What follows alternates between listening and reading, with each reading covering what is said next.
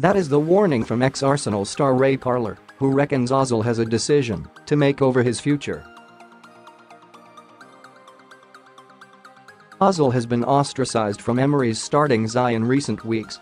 He has been granted just one start in their last nine games and was left out of the squad that beat Huddersfield 2-1 on Saturday.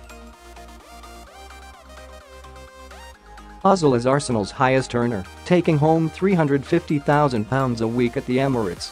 And Parlour sees similarities between the German situation and what Emery faced with Neymar at PSG during the 2017-18 campaign. It's been a little bit like PSG under Neymar, Parlour said.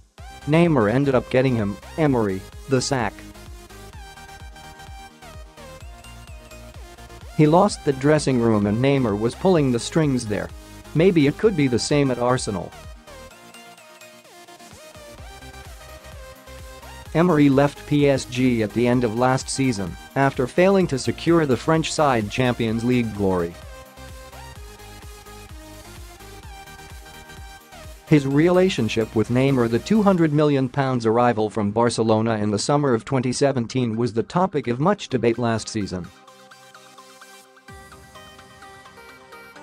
Emery did not personally pursue Neymar, but instead the player was bought by the club to act as their talisman going forward. Likewise, Emery inherited Ozil who joined Arsenal for £42 million in 2013 instead of buying the German. And Parlour reckons the time is coming for Ozil to make a decision on his future. Asked if Ozil will leave soon, Parlour said, it looks like that way. I go back to the dilemma of what Arsenal have got. He's on £350,000 a week. Who is going to pay that sort of money? There's got to be a time in your career when you're over 30 you know you're on a slippery slope. You have to come to a decision whether to leave or not.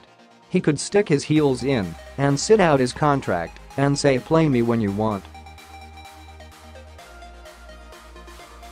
The players hold all the power.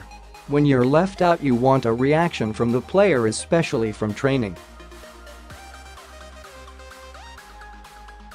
Show the attitude you want to get back into the team somehow. I don't know what he's been like in training,